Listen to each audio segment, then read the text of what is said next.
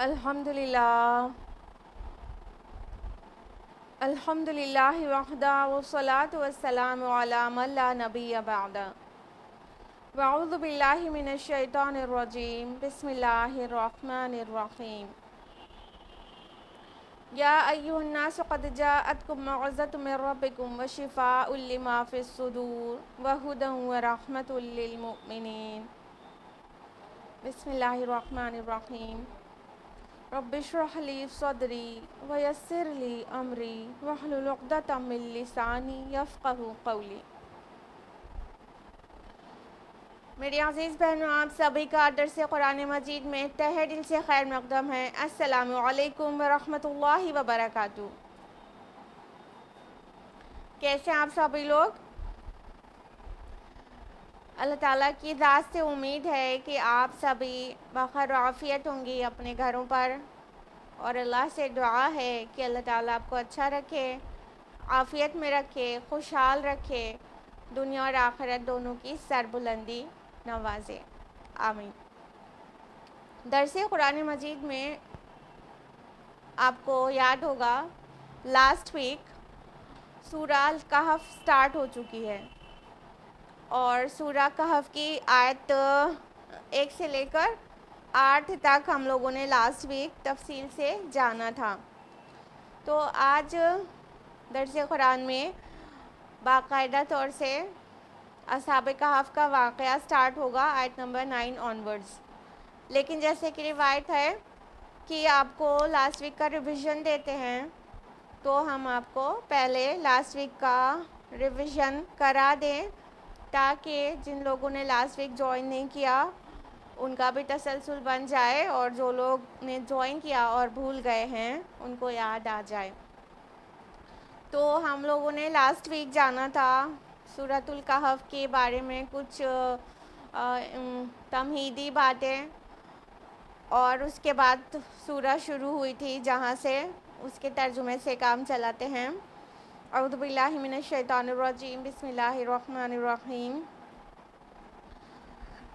कुल हमद सना और कुल शुक्र अल्लाह के लिए है, जिसने नाजिल की अपने बंदे पर किताब, और उसमें उसने कोई कजी नहीं रखी।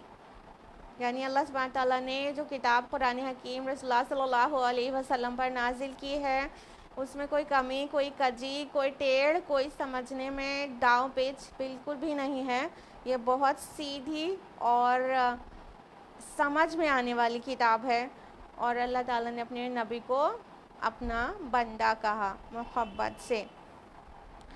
आगे फरमाया, ये किताब बिल्कुल सीधी है ताकि वो ख़बरदार करे एक बहुत बड़ी आफत से उसकी तरफ़ से और ताकि वो बशारत दे उन ईमान को जो नेक अमल करते हों, उनके लिए होगा बहुत अच्छा बदला। पहले कहा गया, इसमें कोई कजी नहीं है, फिर कहा गया कय्यम है ये। यानी बिल्कुल सीधी पॉजिटिव से कहा गया, मुस्बत अंदाज में, पहले मनफी अंदाज था, फिर मुस्बत अंदाज है, और फरमाया कि ये बिल्कुल ही सीधी है, और ये एक बहुत बड़ी आफत से ख़बरदार कर रही है। लास्ट वीक हमने आपको बताया था कि ये आफत क्या क्या हो सकती है। एक तो ये मुसीबत और शदायद और फितने की शक्ल में हो सकती है, जो कि फ़ितना दज्जाल जो क़ुरब क़ियामत में आने वाला है, उसकी ख़बर दे रही है। या तो उसकी तरफ़ इशारा है, या तो बहुत बड़ी जंग की तरफ़ इशारा है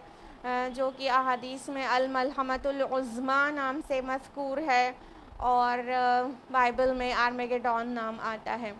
तो ये उस, आफत, उस मुसीबत, उस फितने की से बहुत बड़ी आगाही है ये कुरान मजीद। और फरमाया कि ताकि बशारत दे उन ईमान लाने वालों को जो नेक अमल करते हों कि उनके लिए बहुत ही अच्छा बदला है। यानी कि जो लोग ईमान ले आए, उनके लिए डर नहीं है। अगर वो साथ में हमारे सालहात भी करें तो उनके लिए क्या है? उसका अच्छा बदला है। अल्लाह ताला उसका रिवॉर्ड उनको नसीब करेगा। आयत नंबर तीन में हम लोगों ने जाना था कि वो उसमें हमें रहेंगे हमेशा, हमेश। यानी वो जन्नत की सिफत बयान हो रही है कि वो जो जन्नत होगी, वो अबदी ठिकाना होगा मोमिन का और उसमें वो कभी निकाले, उससे नहीं जाएँगे। आयत नंबर चार में है कि और ख़बरदार कर दें उन लोगों को जिन्होंने कहा, अल्लाह ने बेटा बनाया। यानी ये किताब उन लोगों को ख़बरदार करने के लिए, वार्न करने के लिए भी आई है। जो कहते हैं कि मसीह सलाम अल्लाह का बेटा है, या जिन्होंने कहा उज़ैर सलाम अल्लाह का बेटा है, या इवन जो फरिश्तों को अल्लाह की बेटियाँ कहते हैं तो इस तरह के जो शिरफ ज़ात कर रहे हैं, उनको ख़बरदार करने के लिए भी ये किताब आई है, ताकि उन्हें वार्न कर दे कि ये अपनी हरकत से बाज आ जाएँ। आयत नंबर पाँच में है कि उन्हें उसके बारे में कुछ भी इल्म नहीं और ना ही उनके आबा व अजदाद को था बहुत बड़ी बात है जो उनके मुंहों से निकल रही है। वो नहीं कहते मगर सरासर झूठ। यानी ये जो कहना है कि अल्लाह ने बेटा जना, ये बहुत बड़ी बात है, बहुत भारी बात है, बहुत ही ज़्यादा घिनौनी बात है, ये शिरक ज़ात है। तो अल्लाह ताला उस पर बहुत गज़बनाक हो रहा है कि ये बहुत बड़ी बात अपने मुँह से निकाल रहे हैं और ये सरासर झूठ गढ़ रहे हैं। क्योंकि इस शिरक की ना कोई दलील थी, ना है, ना होगी। और कि दलील क्या मतलब वो कौन सी ऑथेंटिक होगी? ज़ाहिर बात है, जो आसमानी हो। आसमानी किताबों में कभी कोई इस बात की दलील नहीं है, नहीं थी कि अल्लाह ताला उनके साथ और भी लोग शरीक हैं। आठ नंबर छः में हम लोगों ने जाना था तो ए नबी सल्लल्लाहु अलैहि वसल्लम आप शायद अपने आप को गम से हलाक कर लेंगे उनके पीछे अगर वो ईमान ना लाए इस बात पर। इससे पता चलता है नबी सल्लल्लाहु अलैहि वसल्लम किस कदर फ़िक्रमंद रहते थे, ईमान नहीं लाने वालों के मुतालिक कि ये ईमान नहीं लाएँगे तो किस अंजाम से दो चार होंगे, वो वो तकलीफ़ रसल्ला सल्लल्लाहु अलैहि वसल्लम को अंदर अंदर खाए जाती थी। तो अल्लाह ताला ने बहुत ही शफ़क़त और मोहब्बत से फ़रमाया कि ये नबी क्यों अपने आप को हलाक किए देते हैं इनके पीछे? और इस बात पर, इस बात पर से मुराद है इस कुरान पर। ईमान नहीं ला रहे। आयत नंबर सात में हम लोगों ने जाना था, यकीनन हमने बना दिया है जो कुछ ज़मीन पर है, उसे उसका बनाओ सिंगार, ताकि उन्हें हम आजमाएँ कि उनमें कौन बेहतर अमल करता है। तो अल्लाह ताला ने वाजे कर दिया कि ये जो ईमान नहीं ला रहे हैं, इसका इसमें आपकी कोई कोताही या कमी नहीं है। बल्कि ये दुनिया का जो बनाव सिखा रहा है, ये जो ग्लैमर ऑफ़ द वर्ल्ड है, ये इसके फिदा, इसके ऊपर फ़िदा हो गए हैं और इसमें उलझ कर रह गए हैं। और ये दुनिया चाहते हैं इस वजह से ये हक़ को पहचानने के बाद भी इनकार कर रहे हैं। तो अल्लाह ताला ने फरमाया कि ये तो जो जो दुनिया का जो ग्लैमर है वो तो हमने सिर्फ़ इसलिए बनाया है ताकि इनको आजमाएँ। यानी इंसानों को जो आ, दिया गया है वो चमकीली चीज़ें दी गई हैं दुनिया की शक्ल में। दुनिया में वो सभी कुछ है माल औलाद ना नेम फेम मनी एवरीथिंग तो वो सब कुछ में इतना कशिश है, इतनी कशिश है कि उसमें बहुत लोग उलझ जाते हैं। तो याद रखना चाहिए कि ये सिर्फ़ अल्लाह ताला ने आजमाइश के लिए दिया है। आयत नंबर आठ में हम लोगों ने जाना था और यकीनन हम बना कर रख देंगे जो कुछ इस ज़मीन पर है उसे एक चटियल मैदान। यानी यहाँ का जो ग्लैमर है, ये सब कुछ सब कुछ तबाह और बर्बाद हो जाएगा, नेस्त नाबूद हो जाएगा। यहाँ की जीनतें, यहाँ की रौनकें और यहाँ के ग्लैमर, वो सब कुछ ख़त्म हो जाने वाला है और ज़मीन अपनी रौनकों के साथ जो अभी नज़र आ रही है, वो सब फ्लैट हो जाएगी और सब कुछ ख़त्म हो जाएगा। यहाँ तक हम लोगों ने लास्ट वीक जाना था। अब हम लोग आयत नंबर नाइन ऑनवर्ड्स तफसील से जानेंगे इन और यहाँ से आयत नंबर नौ से असाब कहफ़ का वाक़ शुरू हो रहा है इसकी असाब कहफ़ जिसकी मुनासिबत से सूरा का नाम है, सूरतुल यहाँ से वो वाक़ शुरू होता है, उसकी तफसीलात कुरान में कुछ इस तरह से आई है। अज़बिल्लिमिनशैतानरजीम बिस्मिल्लाहिर्रहमानिर्रहीम अम हसिबत अन अस्हाबल कहफ़ वरक़ीम कानू मिन आयातिना अजबा क्या तुम समझते हो कि गार और रकीम वाले असहाब हमारी बहुत अजीब निशानियों में से थे? अब अल्लाह ताला ये सवाल कर रहे हैं कि क्या असहाब कहफ को तुम बहुत अजीब निशानियाँ समझते हो? पहली बात तो ये हो गई कि ये एड्रेस किससे है? आम हसिबता, आप समझते हैं क्या आप समझते हैं? तो ये आप कौन हैं? एक ओपिनियन तो ये है कि रसोल्ला सल्लल्लाहु अलैहि है कि रसोल्ला सल्लल्लाहु वसम से अल्लाह ताला ने कहा कि आप समझते हैं क्या कि गार वाले सब कहफ जो है बहुत अजीब निशानियाँ हैं। लेकिन बेटर ओपिनियन जो है वो ये है कि आ, ये ये जो जो कौम है, जो ग्रुप है जो जिससे रसला सल्लल्लाहु अलैहि वसल्लम के एड्रेस है तो अल्लाह ताला उस कौम के एक एक फ़र्द को मतलब फ़र्दन फ़र्दन सिंगुलर का सेगा है ना, यहाँ पर वाहिद का सेगा है, हसिप्ता। तो अगर प्लूरल होता तो हसिप्तुम होता ना। तो हसिब है तो सिंगुलर है। इससे ये अंदाज भी कुरान हकीम है कि कौम के एक एक फ़र्द को एड्रेस किया गया है। तो इस अंदाज में क्योंकि रसला सल्लल्लाहु अलैहि वसल्लम से एड्रेस किया जाता तो ये कहना आपके शाया निशान नहीं था कि क्या आप इसको बहुत अजीब निशानियाँ समझते हैं? यानी रसला सल्लल्लाहु अलैहि वसल्लम को तो बहुत अजीम शान सतह पर पता था कि अल्लाह ताला की क्या कुदरतें हैं और अल्लाह ताला ने क्या इससे पहले भी क्या क्या निशानियाँ दिखाई हैं और पूरे आफाक और अनफुस में अल्लाह ताला की कितनी बड़ी बड़ी निशानियाँ मौजूद हैं। तो इसमें असाब कहफ के मुतालिक कोई ऐसी बहुत हैरानी वाली बात नहीं है। ये रसला सल्लल्लाहु अलैहि वसल्लम को बहुत वाज होगा। तो इससे महसूस होता है कि ये एड्रेस कौम की तरफ़ है, कौम से कहा जा रहा है। यहाँ पर कहा गया असाब कहफ़ तो कहफ़ मीन्स होता है गार। अरबी ज़ुबान में कहफ़ एक कुशादा गार को कहते हैं। लेकिन जो उर्दू में गार लफ्ज़ है, वो उसमें थोड़े तंगी का मफहम है कि तंग गार को मतलब जो जो केव अंदर से बहुत वाइड नहीं होती, उसको उर्दू ज़ुबान में गार कहते हैं। आ, लेकिन अरबी ज़ुबान में काफ एक वाइड केव को कहते हैं एक कुशादा गार को कहते हैं।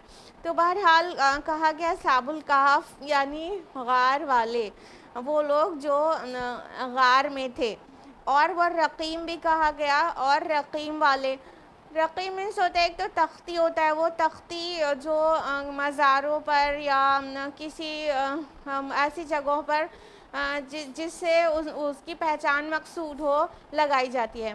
तो वह रकीम यहाँ पे तख्ती वाले भी कहा गया और रकीम इसलिए एक तो दो ओपिनियंस हैं स्कॉलर्स की मुफसरीन की। एक तो ये कि ये रकीम तख्ती वाले कहना मकसूद है क्योंकि वो जो गार था जहाँ पर सबक कहफ थे उसको बाद में जब उनकी डेथ हो गई तो वहाँ पर एक तख्ती लगा दी गई उनके नाम वगैरह उसमें लिख दिए गए और उनकी मतलब उनकी तारीफ़ें लिख दी गई और उसको तख्ती लगा कर छोड़ दिया गया ताकि वो महफूज रहे अंदर किसी का आना जाना ना हो। तो इस तरह से उनको तख्ती वाले भी कहा गया। लेकिन कुछ मुफसरीन इसको कहते हैं रकीम उस जगह का नाम था जहाँ पर वो गार थी। लेकिन ये आ, मतलब हम अब पैट्रा जो जगह कहते हैं ना उसी को रकीम कहा जाता है। लेकिन ये ओपिनियन थोड़ा सा आ, वीक है क्योंकि आ, जो पैट्रा प्लेस है वो जहाँ पर सबक कहफ का वाक़ आया था उससे काफ़ी डिस्टेंट है। तो ये ज़्यादा प्रोमिनेंट ओपिनियन ये है कि ये असाबुर रकीम मतलब तख्ती वाले मुराद है यहाँ पर मीनिंग के साथ मुराद है ना कि जगह का नाम। तो अल्लाह ताला फरमा रहे हैं कि क्या तुम्हारे लिए बहुत अजीब निशानी थे।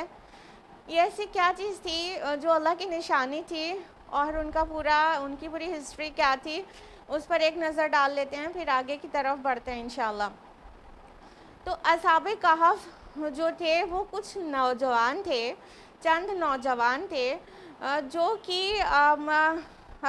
डेशस देशस यानी दकियानूस जो बादशाह है, उसके अहद में थे। और ये उस वक्त पूरे रोमन एम्पायर पर हुकूमत जो है, देशस की थी। और वो बहुत ही जालिम था और ये जो नौजवान थे ये ईसाई मज़हब को फॉलो कर रहे थे लेकिन मुवद थे। मतलब ईसाइत से ये ना समझ लीजिएगा ट्रिनिटी को फॉलो कर रहे थे। नहीं नहीं। वो अस, असल में ईसाई थे यानी ईसा इस्लाम ने जो तोहद की दावत दी थी उस पर थे वो। तो वो ईसाई मज़हब को फॉलो करने वाले लोग थे लेकिन चूँकि वो जो पूरा रोमन एम्पायर था ना तो वो वो उसमें आ, मतलब जो भी ईसाई था उसको बहुत ही प्रसिक्यूट किया जाता था क्योंकि उस वक्त तक रोमन एम्पायर से मुशरक कौम थी। और वो लोग बुत परस्ती करते थे। उनके यहाँ एक बहुत बड़ी डायना देवी का बुत था और कई ममालिक से लोग आते थे उसकी पूजा के लिए, उसकी इबादत के लिए। तो इस तरह वो बुत परस्त लोग थे और बुत परस्ती करते थे और मुवाहिद लोग जो थे उनको बस सताया करते थे, क्योंकि उससे पहले का जो हिस्ट्री गुजरी है तो उसमें जब जनरल टाइटस ने सेवेंटी एडी में, सत्तर ईस्वी में यरूशलेम को जो पूरा बर्बाद कर दिया था और हैकल सुलेमानी को पूरा मस्मार कर दिया था और तो उस वक्त वहाँ पर यहूदियों के ऊपर बड़ा जुल्म सितम हुआ और ईसाई को वहाँ से बेदखल तो नहीं किया गया था, लेकिन उन पर जुल्म सितम रवा रखा गया था। तो उसी तरह चलता आ रहा था और ईसाइयों पर जो कि स्पेशली मवाहिद थे, उनके ऊपर जुल्म सितम था और ये वो दौर था, जबकि जो जो बादशाह होता था, उसी के रिलीजन को फॉलो किया जाता था पूरे आवाम में। यानी कि रिलीजन और हाँ सियासत, ये दोनों पॉलिटिक्स, ये दोनों अलग अलग एंटिटीज़ नहीं थी, बल्कि जो किंग होता था, वो उसका जो भी रिलीजन होता था, वो जो भी फेथ होता था, उसको ही आवाम को फॉलो करना होता था। तो इस तरह से वहाँ पर बहुत ज़्यादा जुल्म सितम था ईसाइयों के साथ और खसूस वाहिद जो थे, तोहद पर थे उनके साथ। तो ये दकियानूस के अहद में जो कि डेशियस कहते हैं इंग्लिश में और रोमन्स में रोमन में। उसका अहद था दो सौ उनचास से दो ईस्वी। इस दरमियान में उसने हुकूमत की है। तो उसमें कुछ नौजवान थे जो कि अल्लाह ताला की खालिश इबादत करना चाहते थे और वो कर रहे थे। आ, लेकिन जब उनको बादशाह के सामने पेश किया गया क्योंकि लोगों के नॉलेज में आ गया था कि ये लोग मतलब बुत परस्ती का इनकार करते हैं और एक अल्लाह ताला की एक अकेले महबूद की इबादत करते हैं तो बादशाह के दरबार में उनको पेश किया गया यानी डेशस के दकियानूस के दरबार में। तो बादशाह ने यह फैसला सुनाया कि तुम लोग अपने जो भी जो मज़हब है तुम उसको छोड़ के उनके मज़हब में आओ, यानी कि बुत परस्ती करो। इन शिरक करने के लिए उनसे कहा जा रहा था।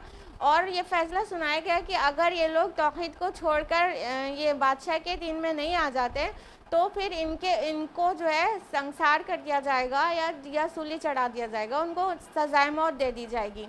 तो अब उसके बाद ये जो लोग थे तो वो अपनी जान बचाने के लिए और तोहद पर कायम रहने के लिए वहाँ से निकले और इन लोगों ने आपस में तय किया कि हम लोग किसी गार में छुप जाते हैं। तो उस गार में, एक गार में इन लोगों ने पनाह ले ली, कुछ नौजवान थे और उस गार, एक गार में पनाह ले ली।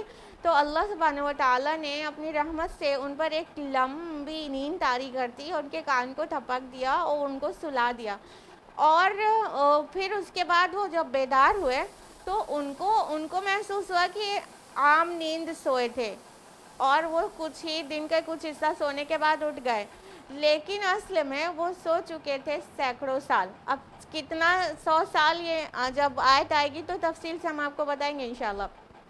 तो वो सैकड़ों साल सो चुके थे और इसी दरमियान में क्या हुआ था कि वो जो रोमन्स की जो हुकूमत थी, जो मुशरक थे पूरी तरह से, वो कॉन्सेंटाइन का जब दौर आया तो वो उसने ईसाइत कबूल कर ली।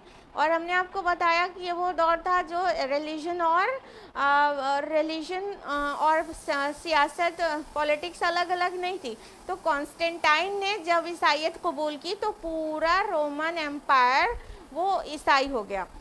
तो फिर उसके बाद तब से वहाँ पे ईसाइत हो गई और फिर ऑलमोस्ट 400 एडी यानी 400 ईस्वी याबाज के नज़दीक 445 446 ईस्वी के लगभग थियोडोसिस नाम का एक एम्पायर था रोमन।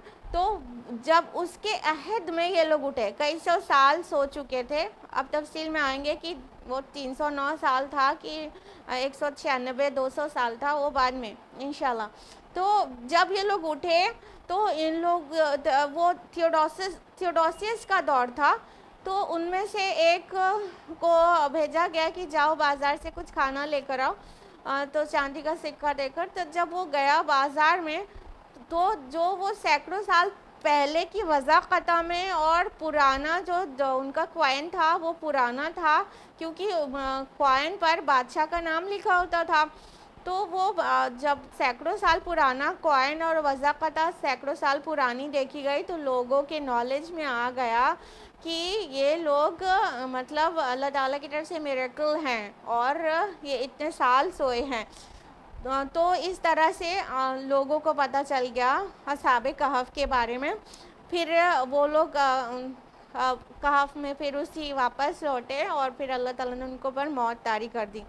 ये पूरा साबे कहफ का जो वाक़ है, ये तरह तरह से नरेट हुआ है। बहुत सारे नरेशंस हैं। बहुत तरह की रिवायतें हैं जो आपस में थोड़ी टकराती भी हैं। कुछ कुरान से कंपैटिबल है, कुछ कुरान से कंपैटिबल नहीं भी है। तो ये मुँह दर मुँह चल रहा था, चल रहा था, फिर कुरान ने इसको वाजे कर दिया। और, अब, एडवर्ड गिबन ने अपनी book the decline and fall of Roman empire में सबक कहफ को द सेवन स्लीपर्स नाम से तस्करा किया है। तो उसका उसकी कुछ चीज़ें भी कुरान से कंपैटिबल हैं लेकिन कुछ चीज़ें नहीं भी मैच करती। कुछ तो कुरान कतियत के साथ बताता है कि असहाब कहफ का क्या मामला था और वो किस आ, कौन आ, वो उन, उसका मकसद क्या था। उसकी पूरी तालीमात के साथ उस वाक़े की तालीमत के साथ कुरान में दर्ज कर दिया गया। और याद रखिएगा कि कुरान जो भी कसस बयान करता है, कोई किस्से बयान करता है, उसका एक मकसद होता है, मकसद होता है। ये सिर्फ़ जो सवाल है मुश्किन की तरफ़ से पोस्ट किया गया था रसला सल्लल्लाहु अलैहि वसल्लम के सामने कि बताइए साहब कहफ कौन थे? इन, किसने इंजेक्शन लगाया था? ऑफ़ कोर्स अहल किताब ने, यहूदियों ने, क्योंकि उनके यहाँ मतलब ये किस्सा मरूफ था, लेकिन मुश्किन को नहीं पता था। तो उन्होंने मुश्किन को मतलब भड़काने के लिए या आयब जोई करने के लिए ये सवाल रखा था कि अपने, वो मोहम्मद से पूछो, सल्लल्लाहु अलैहि वसल्लम के साहब का क्या वाक़ था। तो ताकि वो लोग चाहते थे कि अगर कोई कमी पेशी रहे तो हम आयब निकालें और नहीं बताएँ, देर करें तो कहने का मौका मिल जाए कि हाँ नबी बने, घूमते हैं और इनको पता तक नहीं है। तो इस तरह से उनका मकसद तो अलग था, लेकिन कुरान ने अगर उनके हर एक सवाल का जवाब नहीं दिया है, कुछ सवालों के जवाब दिए हैं तो बामकसद तरीक़े से दिए हैं। तो कुरान में जो भी सबक का वाक़ आया है, उसमें बहुत सारी टीचिंग्स हैं, जो हम लोग एक एक करके इन आयत बायत लेंगे कि कहाँ से कौन सी टीचिंग निकल कर आ रही है। तो अल्लाह ताला ने फरमाया, अब आ जाते हैं आयत नंबर नौ पर वापस, कि क्या तुम समझते हो गार और तख्ती वाले असहाब हमारी बहुत अजीब निशानियों में से थे। यानी कि इनको ये हंड्रेड्स ऑफ़ ईयर्स सुला देना, ये ये कोई बहुत बड़ी बात नहीं है, क्योंकि अल्लाह ताला ने इस तरह की बहुत सारी निशानियाँ लोगों को दिखाई हैं, और न सिर्फ़ इस तरह की, बहुत तरह की। इस तरह की एक निशानी का ज़िक्र सूरह बकरा की आय नंबर 259 में हुआ है कि उज़ैर अलैहिस्सलाम को अल्लाह ताला ने 100 साल नींद तारी कर दी थी और फिर 100 साल के बाद जगा दिया। तो इनके ऊपर भी फ्यू हंड्रेड ईयर्स गुजरे और इनको सुला दिया। और इस तरह से बासे बादल मौत का बहुत सारा बहुत सारी निशानियाँ कुरान मजीद में मौजूद हैं। गाय वाला वाक़ भी एक अपने आप में निशानी है कि किस तरह से उस गाय का गोश्त उस शख्स के ऊपर मारा गया था तो उसने अपने कातिल का ज़िंदा होकर उसने अपने कातिल का पता दे दिया था। तो इस तरह से बासे बादल मौत का की निशानी या तो लंबी नींद सुला देने की निशानी, ये सब अल्लाह ताला के लिए कौन सी बड़ी बात है? कौन सी बड़ी बात है? अगर इंसान आसमान और ज़मीन की तख्लीक में ही गौर फ़िक्र कर ले, अपने नफ्स में ही गौर फ़िक्र कर ले तो उसे पता चल जाए कि उसका खालिक कितना बड़ा कारीगर है। फ़तबारक अल्लाहसनखालिकीन कि वो बहुत बाबरकत है। तो वो अल्लाह ताला के लिए बहुत मामूली और बहुत आसान बात है क्योंकि जो तबी कानून हैं जो फ़िज़िकल लॉज हैं वो अल्लाह के बनाए हुए हैं। अल्लाह के ताब अल्लाह उसके ताबे नहीं हैं वो अल्लाह के ताबे हैं। जब अल्लाह ताला चाहता है इन फ़िज़िकल लॉज को पलट सकता है क्योंकि अल्लाह ने ही बनाए हैं। तो इसमें कोई बहुत अजीब निशानी नहीं है। जो बहुत पुख्ता ईमान रखता हो उसको अच्छी तरह से पता है। मेरा रब आ, के अल कादिर है, वो हर चीज़ पर कुदरत रखता है। तो फरमाया कि क्या तुम्हारे नज़दीक इसमें कोई बहुत बड़ी निशानी हो गई है? कि बहुत अजीब वाक़ हो गया है। निशानी तो ज़रूर है, लेकिन बहुत अजीब बात कुछ भी नहीं है। अल्लाह ताला के लिए बहुत आसान है। आगे फरमाया, आयत नंबर दस में ईद अवल आतना मिल्लदुनका रहमत वना मिन अमरिना रोशदा। जबकि उन नौजवानों ने गार में पनाह ली। और उन्होंने कहा ए हमारे रब तो अता फरमा हमें अपने पास से हाँ, रहमत और आसानी फरमा दे हमारे लिए हमारे मामलात में आ, हमारे मामलात में और आफ़ियत का रास्ता। अब देखिए कुरान आयत नंबर नौ से लेकर आयत नंबर बारह तक इस किस्से को इजमाली पेश करता है। फिर आयत नंबर थर्टीन ऑनवर्ड्स इसकी तफसीलात आती हैं। ये उसलूब कुरान मजीद में कई जगह पर लिया गया है कि किसी भी किस्से या वाक़ को पहले समरी पेश कर दी जाती है। पहले उसकी समरी दी जाती है फिर तफसील से फिर से बयान किया जाता है। तो यहाँ पर भी वही अंदाज है। तो आठ नंबर नौ से लेकर बारह तक में उसकी एक छोटी सी समरी है। फिर आठ नंबर तेरह से लेकर आगे की तरफ़ वो तफसीली वाक़ है। और कुरान ने वही चीज़ें इंक्लूड की है जो बामकसद है और जिससे जिसका हाँ, जिससे इंसानियत को आ, कुछ फ़ायदा हो सकता है। और वो चीज़ों से सरफ नज़र किया है जिसकी कोई अहमियत नहीं है। आगे हम लोग देखते जाएँगे कि किन किन चीज़ों से अल्लाह ताला कह रहा है कि इस, इससे आपका कोई मतलब नहीं है ये बहस मुबासे में पढ़ने से। बहरहाल, अल्लाह ताला ने फरमाया कि जब उन नौजवानों ने गार में पना ली तो उन्होंने कहा कि अय हमारे रब, तू हमें आता फरमा, अपने पास से रहमत और आसानी फरमा दे, हमारे लिए, हमारे मामलात में आफ़ियत का रास्ता। यानी कि जब वो दकियानूस की वजह से उन लोगों को एक गार में पनाह लेनी पड़ी क्योंकि वो कोई ऐसे रसूल भी नहीं थे ना कि वो डट कर वहाँ पर दावत पेश करते रहते और फिर अपने पॉइंट को क्लियर कर पाते। नहीं बल्कि वो लोग एक, एक नौजवान लोग थे कोई स्कॉलर्स भी नहीं थे। ठीक है ध्यान दीजिएगा कि वो नौ चंद नौजवान थे और उनको, उन, उनको अपनी जान बचाने के लिए गार में पनाह लेनी पड़ी। इवन रसोल्ला सल्लल्लाहु अलैहि के ऊपर भी ये दिन आया था। यानी जो हिजरत रसुल्ला ने की है तो गार सौर में, आप अलैहि वसल्लम ने हज़रत अबू बकर के साथ तीन दिन जो पनाह ली है तो ऐसा वक्त रसूल के ऊपर भी आ सकता है? तो ये तो रसूल भी नहीं थे। तो इन इन लोगों ने मतलब इन, इसके अंदर जो टीचिंग है वो क्या है कि वो अपनी तोहद से मोहब्बत करते थे। वो अल्लाह ताला ही की इबादत करते थे और हमेशा करना चाहते थे। और गार जैसी चीज़ जहाँ पर जो ज़िंदगी की कोई आसानियों की चीज़ें नहीं होती हैं वहाँ पर वो लोग अपने आप को तब भी महफूज समझ कर वहाँ पर प्लान किया था उन्होंने। वो ये नहीं सोच रहे थे कि वो गार में कितने दिन रह सकते हैं, उसके बाद हमें मौत आ लेगी नहीं, बल्कि उन्होंने गार में पना ली और अल्लाह पर भरोसा किया अपनी तोहद को बचाने के लिए। वहाँ गए और साथ में उनके अंदर इस्तकामत थी और तवक्ल था। वो क्या कि हम अपने रब से दुआ करते हैं और वो हमारे मामले में आसानी फरमा देगा। तो अल्लाह ताला से ही दुआ की कि ए हमारे रब हमारे लिए हमारे मामलात में आसानी फरमा दे और हमारे लिए आफियत का रास्ता निकाल दे कोई कि हम आ, मतलब अपनी तोहद पर कायम रह सकें अपने ईमान पर डटे रह सकें। ईमान पर साबित कदम रह सकें और उनकी ज़रूरियात ज़िंदगी भी पूरी होती रहे। आगे फरमाया फ़रब नज़ानहिम फ़िलका फ़िसनीन अददा। तो हमने थपकी दी उनके कानों पर गार में कई साल के लिए। अल्लाह ताला ने फरमाया कि हमने उनके कान को थपक दिया गार के अंदर। यहाँ पे जो फ़दर अब आज़ान ही आया है तो ज़रब आज़ान का मतलब होता है मोहब्बत से ठोक कर जो थपकी देकर सुलाया जाता है ना, जैसे माँ अपने बच्चे को कान थपक कर सुला देती है, वो आउट ऑफ़ लव होता है ना, वो इतनी मोहब्बत करती है कि वो उसको बहुत ही मोहब्बत और शफकत के साथ कान थपक कर सुलाती है कि वो उसको उसको नींद आ जाए। तो अल्लाह ताला ने यहाँ पे ये नहीं कहा कि वो सो गए, बल्कि बहुत ही प्यारा और शफकत वाला वाले अल्फाज इस्तेमाल किए जो बाद में एक मिसाल ही बन गया माँ के लिए कि माँ कान थपक कर सुलाती है। तो अल्लाह ताला ने फरमाया कि हमने उनके कान को थपक दिया। यानी उनको अल्लाह ताला ने सुला दिया और बहुत ही मोहब्बत और शफकत से सुला दिया। और फिर यहाँ पर कहा गया कि गार में वो कई साल के लिए सोते रहे। यहाँ पे टाइम का कोई डिस्कशन नहीं है। जब टाइप का डिस्कशन आएगा तो हम आपको बताएँगे।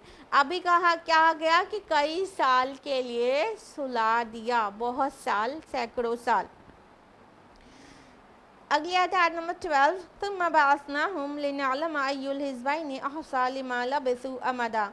फिर हमने उन्हें उठाया कि हम देखें कि दो गिरोहों में से किसको बेहतर मालूम है, कितना अरसा वो वहाँ रहे थे। अल्लाह ताला फरमाते हैं कि फिर अल्लाह ताला ने उनको उठाया। यानी कि वो जाग गए। वो ज़िंदा थे। वो ज़िंदा थे और वो जाग गए। फरमाया कि फिर हमने उनको उठाया कि देखें दो गिरोह हिजबैन जो लफ्ज़ है ना दो गिरोहों में से कौन आ, मतलब कि किसको बेहतर मालूम है कि कितना अरसर है अब ये दो गिरोह कौन है? इसमें डिफरेंट डिफरेंट ओपिनियंस हैं मुफसरीन की। दो गिरोह में एक तो ये भी हो सकता है गार वाले और बाहर वाले। तो कौन को, मतलब बाद में डिस्प्यूट हो गया था ना कितने दिन तक ये रहे हैं। तो गार वाले और बाहर वाले दो गिरोह भी हो सकते हैं मुराद। और गार के अंदर भी जितने लोग हैं, वो वो लोग भी मतलब नहीं जानते थे कि कितने दिन रहे तो उन्हीं में से दो दो डिफरेंट ओपिनियन भी हो सकती है। और बाहर वालों में भी दो गिरोह बन गए थे। कोई कह रहा है कि 200 साल रहे, कोई कह रहा है 300 साल रहे। तो इस तरह से बहुत सारे मतलब डिस्प्यूट्स हुए उनके दरमियान, बहुत सारे डिबेट्स हुए और होते रहे हैं। सदियों डिबेट्स हुए हैं इन मौजूद पर। तो अल्लाह ताला फरमा रहे कि इन इन दो हमने जगा दिया कि इन दो गिरोहों में से किसको बेहतर मालूम है कि वो कितना अरसर है यानी अल्लाह ताला तो बेहतर जानता है। अल्लाह ने तो थपक कर सुलाया, अल्लाह ने तो उन्हें उठाया। लेकिन अल्लाह ताला मतलब इन लोगों के ऊपर ज़ाहिर करना चाहता था कि ये लोग भी जो है देख लें कि वो कितने साल रहे हैं, इसमें क्या क्या बातें करते हैं, वो वो ज़ाहिर हो जाए, वो ज़ाहिर में आ जाए। अगले आते हैं, नहनु नकुसम बिलहक़ हम सुना रहे हैं आपको उनका किस्सा हक़ के साथ। इन नहम फ़ितन आमनु बिरबिम वज़िदनाहम हुदा वो चंद नौजवान थे जो ईमान लाए अपने रब पर और हमने खूब बढ़ाया था उन्हें हिदायत में। अब देखिए यहाँ से उस किस्से की तफसील शुरू हो गई। या इससे पहले तक, नौ से लेके बारह तक की आयत में बहुत कंसाइज्ड एकदम कॉम्पैक्ट वे में पूरे किस्से को समरी बयान की गई और अब यहाँ से तफसीलात शुरू हो गई। अब अल्लाह सुबहान ताली फरमा रहे हैं कि हम सुना रहे हैं आपको उनका किस्सा हक के साथ। यानी कि ये जो बहुत सारे डिस्प्यूट्स थे बहुत सारे मुँह दर मुँह बातें जो थी बहुत अलग अलग किस्म के आ, के बयान थे लोगों के और बहुत ही परेशान बातें भी थी उसमें। कुछ ऑथेंटिक की थी कुछ इनऑथेंटिक थी कुछ हाँ मतलब बनाई हुई बातें थी। ये सारी चली आ रही थी। जब रसला सल्लल्लाहु अलैहि वसल्लम की व्यवस्था हुई है तो कुछ सौ साल गुजर ही चुके थे। तो ये तरह तरह की चीज़ें आ ही रही थी अलग अलग जगह से और कुछ लोग तो बिल्कुल ही ना वाकिफ़ थे, लेकिन जो लोग वाकिफ़ थे, उनमें मुख्तलिफ़ आ रहा थी। तो अल्लाह सुबहान ताली फरमा रहे हैं कि अब हम बयान करते हैं नबी आपके लिए ये हक़ के साथ। यहाँ बिल हक़ जो आया है, हक़ के साथ बयान करते हैं, ये हक़ लफ्ज़ बहुत मीनिंगफुल है। हक़ का एक माना तो ये हो गया कि हम बिल्कुल सही सही एक्यूरेटली आपको बयान कर रहे हैं। ये जो कुछ कह रहे हैं, वो अंधेरे में तीर चला रहे हैं।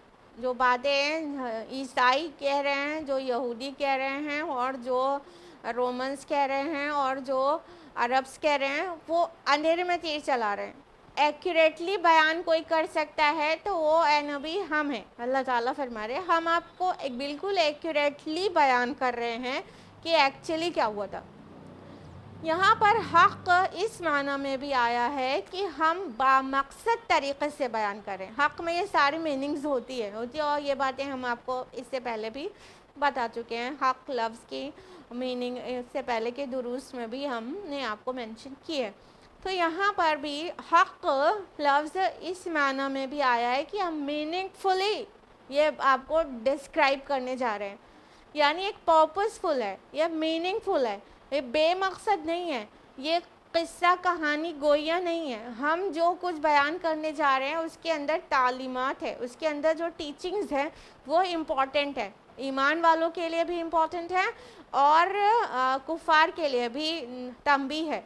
ईमान वालों के लिए क्या इसकी अहमियत है? ज़ाहिर बात है कि रसला सल्लल्लाहु अलैहि वसल्लम और मुसलमान जो मक्का में ईमान ला चुके थे वो लोग को भी टॉर्चर और प्रोसिक्यूशन का दौर फेस करना शुरू कर दिया था उन्होंने। यानी मुशरकिन की तरफ़ से वही सताया जा रहा था उनको।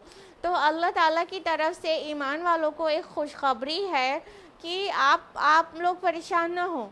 अल्लाह ताला की तोहद पर जो भी इस्तकामत इख्तियार करता है अल्लाह ताला इस तरह गैब से उनकी मदद करता है तो आपको भी आपका रब बे यारो मददगार नहीं छोड़ देगा। ये मुशरकिन मक्का आपको कितना भी सता लें लेकिन आ, ये आप पर गालिब नहीं आ सकते। अल्लाह ताला आपको बे बेयारो मददगार नहीं छोड़ देगा। अल्लाह ही आपका मौला है। असाब कहफ भी थे वो भी अल्लाह पर ईमान लाए थे और अल्लाह ताला के ऊपर ईमान ला के वो साबित कदम थे। तो अल्लाह ताला ने कैसे मेरेक्यूलसली उन, उनको दकियानुस से बचा लिया, वहाँ के जुल्म से बचा लिया।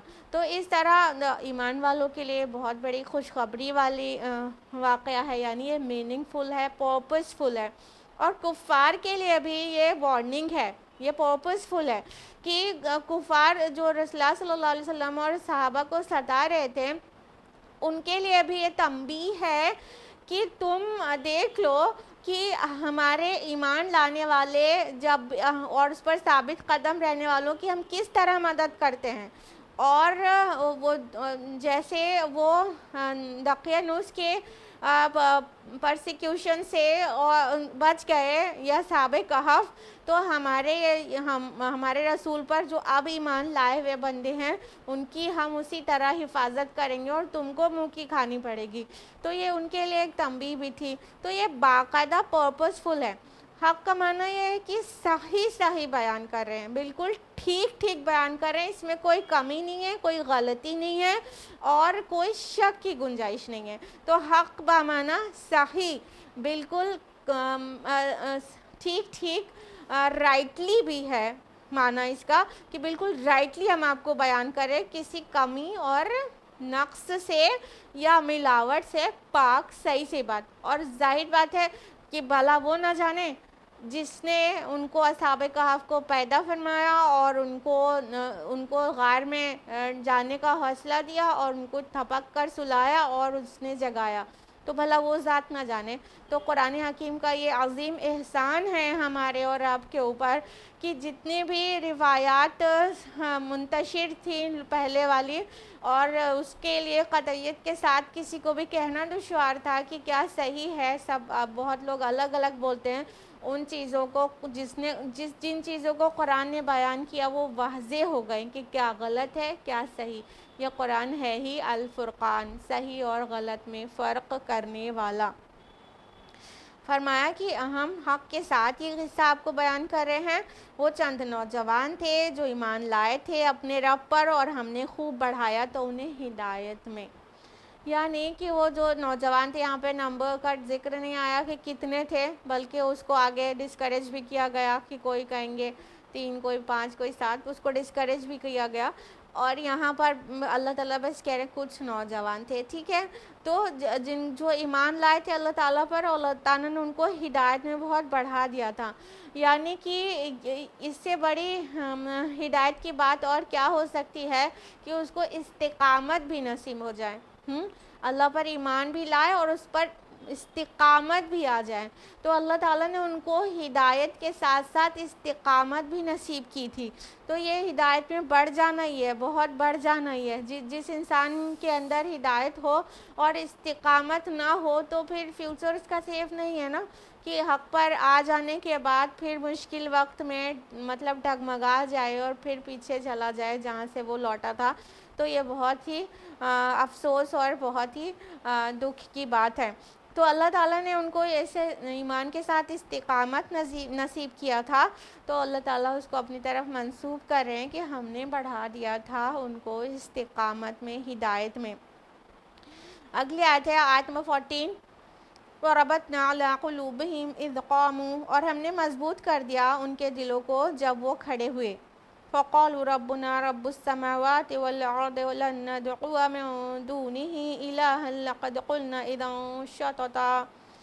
तो उन्होंने कहा कि हमारा रब तो वो है जो आसमानों और ज़मीन का रब है। हम हरगिज़ नहीं पुकारेंगे उसके सिवा किसी और को मबूद। अगर हमने ऐसा किया, तब तो हम बहुत ही गलत बात कहेंगे।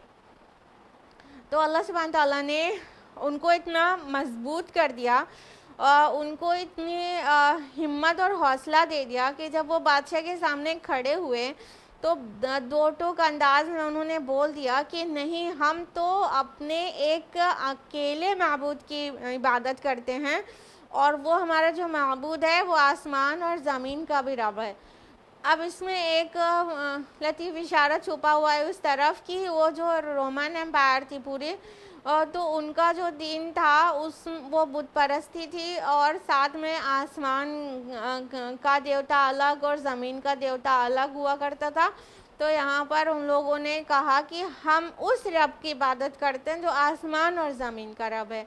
यानी कि आसमान का देवता अलग और ज़मीन का अलग और बारिश का अलग और खुशी का अलग और गम का अलग, ऐसा नहीं है। बल्कि हम एक अकेले मबूद की इबादत करते हैं और वो खालिक है ज़मीन और आसमान का, वो खालिक है बारिश और मंज़र का। तो ये ये अल्लाह ताला को के लिए उन लोगों ने ये सिफत बयान की कि जो रब है आसमानों और ज़मीन का, और हम उसके अलावा किसी को नहीं पुकारेंगे। मबूद अगर हम ऐसा करें तो हमने बहुत ही गलत बात कह दी। यानी कि ईमान उनके अंदर इतना रासिक हो गया था कि वो इस बात को कहने से डरे नहीं कि जो जो सामने वाले का दीन है, उसको, उसकी मुखालिफत कर रहे हैं, उसको गलत बता रहे हैं। तो अल्लाह ताला ने उनको इतना ईमान दे दिया था कि उन्होंने ये बात आसानी से कही कि हम हरगिज़ नहीं पुकारेंगे। आप लाख भी कहें कि हम अल्लाह के साथ शेर करें तो हम नहीं करेंगे। और अगर हम ऐसा करें तो हमने बहुत ही गलत बात कह दी, बेबुनियाद बात कह दी बेसलेस बात कह दी मीनिंगलेस बात कह दी, बल्कि जुल्म अजीम कर दिया। तो उन लोगों ने ये बात डट कर बादशाह के सामने, यानी डेशियस जो बादशाह था, तकियानूस, उसके सामने डट कर ये बात कही कि हम अल्लाह के अलावा किसी की भी इबादत नहीं करेंगे। और अगर हम ऐसा करेंगे तो हम बहुत ही बड़ी गलत बात करेंगे। तो वो वो नहीं करना चाहते थे। अगली आयत है हाउला कौमनतखदूनी आलिहा। हमारी कौम, हमारी इस कौम ने बना लिए हैं उसके सिवा दूसरे मबूद। लउलातूनम बिन तो क्यों नहीं पेश करते वो उनके बारे में कोई वाज दलील? फ़मन अज़लमन इफ्तरा का दिबा तो उस शख्स से बढ़कर ालिम कौन होगा जिसने अल्लाह पर झूठ बांधा? अब उन लोगों ने अपनी कौम के जो, जो मबूदान बातिल थे उनके ख़िलाफ़ बात कही और इतने करेज के साथ बोली और ये आपस का मतलब मुकालमा भी हो सकता है और बादशाह के सामने का भी हो सकता है। कहा कि हमारी कौम ने अल्लाह ताला के अलावा और मबूद बना लिया है तो अगर ऐसा किया है तो उसकी दलील क्यों नहीं पेश करते? तो देखा आपने कि मोमिन जो होता है वो हर बात दलील से अमल करता है हर बात पर। हाँ ये नहीं है कि आबा अजदाद से जो देख लिया आया बादशाह से जो देखा तो रियाया फॉलो करने लगी माँ बाप से देखा तो औलाद फॉलो करने लगी सोसाइटी में होते हुए देखा तो हम भी उनके साथ हो लिए। नहीं, ईमान वाला हमेशा पुख्ता दलील पर अमल करता है। तो इन लोगों ने भी यही बात कही कि अगर ये लोग शिर कर रहे हैं तो क्या दलील है इनके पास? कोई दलील है आसमानी जिसको ये पेश कर सकते हो? ये सोचने की बात है। ये सोचने की बात है कि जो भी जो भी अमल हम कर रहे हैं, क्या उसकी दलील है कि वो बेसनद है? बेमतलब है। सिर्फ़ इसलिए कर रहे हैं कि हमारी सोसाइटी में होता है। सिर्फ़ इसलिए कर रहे हैं कि हमारी माँ सास ने का ने किया है तो हम भी कर रहे हैं। हमारे वालदेन ने बचपन से, हमने उनको यही करते हुए पाया तो हम भी कर रहे हैं। नहीं दलील होनी चाहिए। दलील वो भी बिल्कुल वाज दलील बैन वाज दलील। क्लियर एविडेंस होना चाहिए कि ये चीज़ ये हक है और ये गलत है। इसका क्लियर एविडेंस होना चाहिए। तो वो असहाब कहफ ने यही बात कही कि ये हमारी कौम जिस मतलब अल्लाह के साथ शेर कर रही है और और और लोगों को, दूसरों को मबूद ठहरा लिया है। अगर ये ऐसा कर रहे हैं तो दलील दें अपनी। इनके पास कोई दलील होनी चाहिए कोई बुरहान होना चाहिए कोई सुल, मतलब सुल्तानी बैन अल्फाज आए कोई क्लियर एविडेंस होना चाहिए वाज होना चाहिए कि कहाँ से मतलब इनका बुनियाद क्या है ये करने की। और फरमाया उस शख्स से बढ़कर जालिम कौन होगा जिसने अल्लाह पर झूठ बांधा?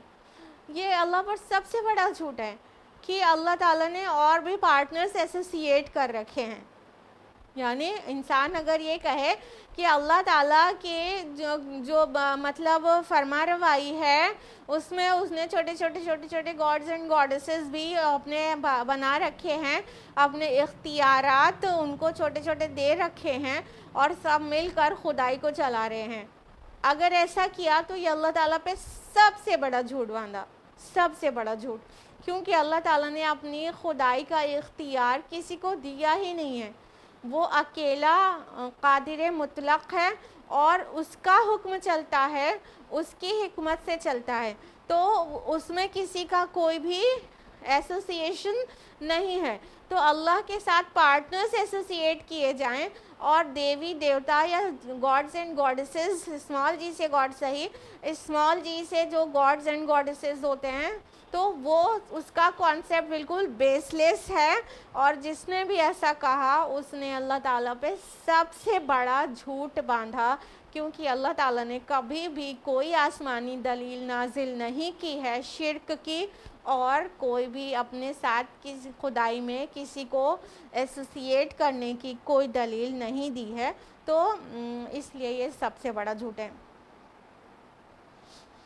आज नंबर सिक्सटीन में है वैसे तजल तुम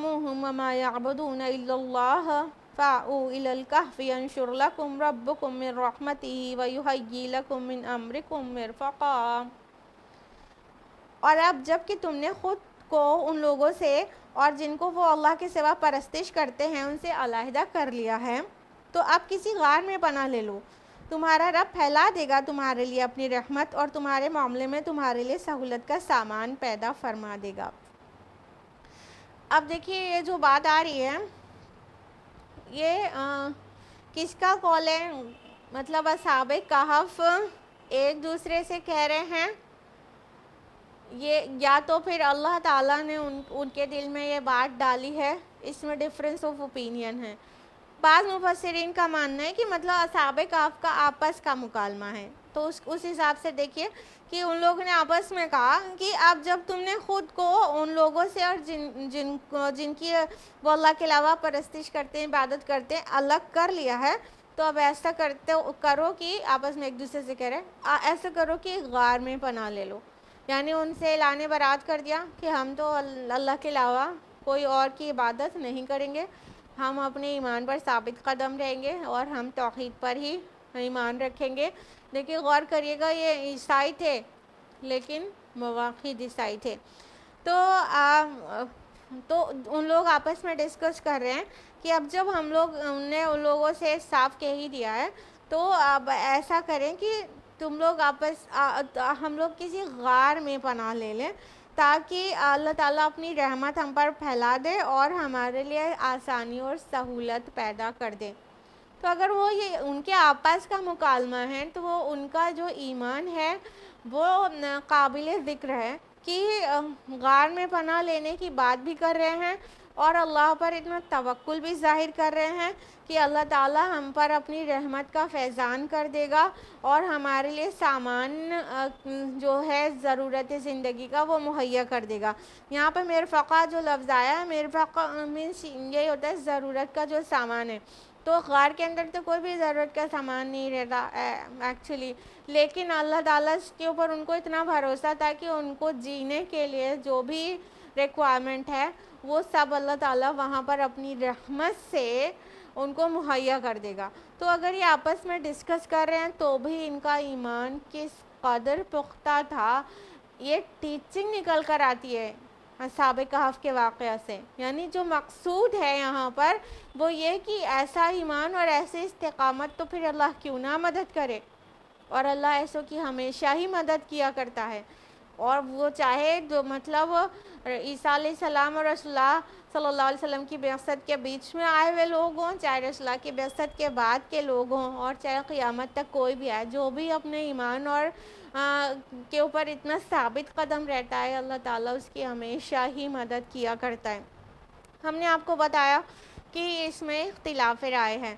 तो ये डिफरेंस ऑफ़ ओपिनियन होने की वजह से दूसरी राय ये है कि ये कॉल उनका आपस का मुकालमा नहीं है, ये आपस में उनका डिस्कशन नहीं है, बल्कि ये अल्लाह ताला की तरफ़ से है ये जुमला कि, और जब तुमने मतलब अल्लाह ताला ने उनके दिल में इल्का कर दिया। उनके दिल में वही कर दी।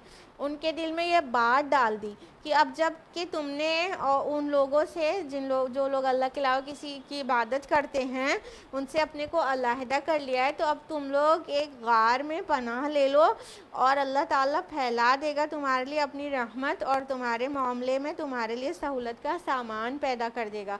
यानी अल्लाह ताला, ये मतलब ये जो दूसरी ओपिनियन है, वो ये कि ये अल्लाह ताला का कॉल है कि अल्लाह ताला ने उनके दिल में ये बात डाल दी कि तुम अब गार में पना ले लो और अल्लाह ताला तुमको वहाँ पर सारी सहूलतें मुहैया कर देगा।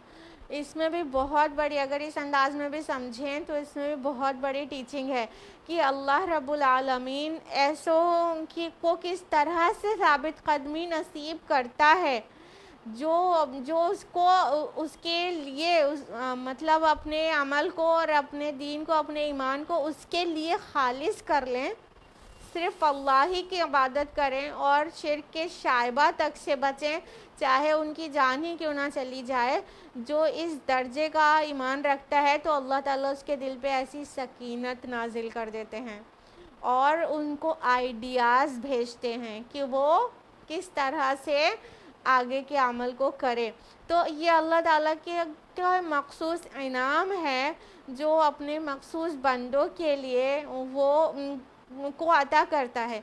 यानी जब ईमान इस दर्जे का होगा ना तो अल्लाह ताला ऐसी बातें दिल में इल्का करता रहेगा। तो ये इल्का के ज़रिए अल्लाह ताला से जो कांटेक्ट है, वो बना है बंदे का। चाहे रिसालत ख़त्म हो गई है और वही का सिलसिला बंद हो गया है, लेकिन आज भी अल्लाह ताला और क़ियामत तक दिल में बात को इल्का करता रहता है। तो अगर ये अल्लाह ताला का कौल माने तो अल्लाह ताला ने उनके दिलों में इल्का कर दिया कि हम तुम्हारी ज़रूरत ज़िंदगी मुहैया करेंगे। और जो सेकंड ओपिनियन है ना कि ये मतलब अल्लाह ताला का कौल है ना कि उनका आपस का डिस्कशन उसकी एक दलील ये भी है कि अगर इनका कौल मतलब उन लोगों का सबक कहफ का ये मतलब आपस का मुकालमा होता तो ये अंदाज दुआया होता कि अल्लाह हम पर अपनी रहमत नाजिल कर हमारे मामले में आसानी कर दे। तो अंदाज दुआया नहीं है। ये अंदाज ये है कि सहूलत का सामान अल्लाह पैदा कर देगा। तो ये एक दलील के तौर पर भी पेश करते हैं वो मुफसरिन जो ये कहते हैं कि ये अल्लाह का कौल है, ना कि असहाब कहफ का आपस का मुकालमा। अगली आयत है आय नंबर सेवनटीन व तरशमसईदा तजावर कहफ़िम दातलयमीन और तुम सूरज को देखते हो कि जब वो तुलु होता है तो उस गार से दाहिनी तरफ़ हट जाता है। वह ज़ार अबद तकरद हम दात शिमाल, और जब वो गुरूब होता है तो बाई जानब उससे कन्नी कतरा जाता है। वह हम फ़ी फजवत मिन, और वो उसकी खुली जगह में हुए, और वो उसकी खुली जगह में थे। दालिका मिन आयात ये अल्लाह की निशानियों में से है। मन यहदिल्लाहु फहुवल मुहतद, व मन फलन तजिद मुर्शिदा। जिसे अल्लाह हिदायत देता है वही हिदायत या, याफ्ता होता है और जिसे वो गुमराह कर दे तो उसके लिए तुम नहीं पाओगे कोई मदद मददगार राह पर लाने वाला। अब आज नंबर सेवेंटीन में अल्लाह ताला फरमा रहे हैं कि जिस गार में वो लोग थे उन पर अल्लाह की रहमत का ऐसा फैज़ान हुआ कि जब सूरज निकलता था तुलू होता था सनराइज़ होता था तो गार से दाहिनी तरफ़ हट जाता था। और जब सन सेट होता था गुरूब होता था सूरज तो बाई जानब कतरा जाता था। एक तो इसका इसका मतलब ये हुआ कि वो जो गार थी, उसका जो मुँह था, वो नॉर्थ की तरफ़ था, शिमाल की तरफ़। तो शिमाल की जानब सूरज कभी भी नहीं जाता, पूरे साल के किसी भी मौसम में, ठीक है? तो उसका जो मुँह था शिमाल की तरफ़ था नॉर्थ की तरफ़ तो उसकी वजह से सूरज की वहाँ रोशनी तो जाती थी, लेकिन धूप नहीं जाती थी। उनको अल्लाह ताला ने ऐसा प्रोटेक्शन दे रखा था कि उसमें धूप नहीं जाती थी। तो ये नॉर्थ लाइट शेल्स की तरीक़े पर और भी बिल्डिंग्स बनाई जाती हैं, जो कारखाने वगैरह होते हैं, कि उसमें धूप बरह रास्त ना जाए, लेकिन रोशनी जाए। तो इस इस तरह के जो बिल्डिंग्स या गार होते हैं वो धूप से बचे रहते हैं लेकिन रोशनी जाती रहती है। तो ये गार तो एक तो बात ये हो गई कि ये जो गार था वो उसका मुँह जो है नॉर्थ की तरफ़ था जिसकी वजह से ना सनराइज़ पे डायरेक्ट उन उसके अंदर धूप जाती थी ना सनसेट के वक्त डायरेक्ट उसके अंदर धूप जाती थी। दूसरी ओपिनियन ये है कि आ, मतलब अल्लाह ताला ने सूरज को हुक्म दिया था कि वो उस उस मतलब गार के अंदर वो धूप ना पहुँचने पाए और जो आगे आ, आ, आ रहा है कि ये अल्लाह की निशानियों में से है तो इसको एक तो ये बात हो गई कि ये बात जो सूरज का कतरा जाना ये अल्लाह की निशानियों में से है। लेफ़्ट और राइट हो जाना अपने कुछ मखसूस बंदों की हिफाजत के लिए ताकि उन्हें तकलीफ़ ना पहुँचे। वो धूप की शिद्दत से परेशान ना हो। सैकड़ों साल वो सो रहे हैं। उनको धूप की शिद्दत परेशान ना करे। तो उसकी वजह से अल्लाह ताला ने निशानी के एक तौर पर रखा था। लेकिन जो ओपिनियन ये है कि ये मतलब नॉर्थ की जानब था तो एक एक मामूल हो गया कि ऐसी गारें कई जगह पर मौजूद हैं। जो जो कि ऐसे नॉर्थ की जानब जिनके मुँह होते हैं। तो फरमाया कि अल्लाह ताला ने कि वो उसकी खुली जगह में हुए वो लेटे हुए थे मतलब वो मौजूद थे। यानी वो गार अंदर से कुशादा था। उनको तंगी नहीं महसूस होती थी। उनको उनको तकलीफ़ और घुटन नहीं वहाँ महसूस होती थी। वो बहुत आराम से वहाँ सो रहे थे। यानी अल्लाह ताला ने वो गार की सख्ती को उनके लिए नर्म कर दिया था और तंगी को उनके लिए कुशादा कर दिया था और अल्लाह ताला ने इसको निशानी बना के मतलब रख दिया। और तो अगर ये माने कि ये मतलब नॉर्थ जानब उसका रुख था तो आ, मतलब एक नॉर्मल बात लगेगी लेकिन अल्लाह ताला जब कह रहे हैं कि अल्लाह की निशानियों में तदाली का मिनायात है तो पूरा वाक़ होगा कि ये पूरा वाक़ ही अल्लाह ताला की तरफ़ से एक बहुत बड़ी निशानी है। यानी सैकड़ों साल कोई ज़िंदा रहे और सोता रहे और जागे ना और वो अलाइव रहे खाए पिए बगैर वो अलाइव रहे it is one of the miracles ना it is one of the science of Allah सुबहान ताला तो ये पूरी जो बात है वो अल्लाह की तरफ़ से निशानी है किस्सा गोई नहीं है। यानी कुरान हकीम जो बयान करता है, वो अल्लाह ताला अपनी निशानी बयान कर रहा है कि वो बाद में जब उठेंगे तो वो निशानी के तौर पर होंगे कि तुम बरज़ी ज़िंदगी में भी इसी तरह तुम रहोगे और फिर अल्लाह के यहाँ क़्यामत के दिन उठा लिए जाओगे। तो अल्लाह ताला फरमा रहे हैं कि जिसको अल्लाह दे वही हिदायत याफ्ता होता है और जिसे अल्लाह ताला ही गुमराह कर दे तो फिर कौन है जो हेल्प करे उसको हिदायत पर लाने में? यानी कि अब ऐसी निशानी देखने के बाद तो सबको ईमान ले आना चाहिए था ना, सबको तोहहीद पर आ जाना चाहिए था ना। जब वो लोग उठे, जब लोगों के नॉलेज में आ गया, या उसके बाद तक, आज तक भी आता जा रहा है तो वो जो भी ये निशानी को देख रहा है, सुन रहा है, उसकी ऑथेंटिसिटी के साथ उसे प्रूफ मिल गया कि हाँ एक्चुअली ऐसा हुआ था तो उसको तोहद पर आ जाना चाहिए था ना, उन सभी लोगों को। लेकिन अल्लाह ताला फरमा रहे नहीं जिसको अल्लाह हिदायत देता है वही हिदायत पर आता है। और अल्लाह इसको हिदायत किसको देता है? जो हिदायत पाना चाहता है जिसको हिदायत की तलब होती है। तो अल्लाह ताला जिसको हिदायत की तलब हो वो आ, मतलब कानून फितरत के तहत और अल्लाह ताला के जो बनाया हुआ कानून है उसके तहत ही हिदायत पर आता है तो अपनी तरफ़ मंसूब करता है। यानी अल्लाह इज़्न देता है तभी तो हिदायत पर है।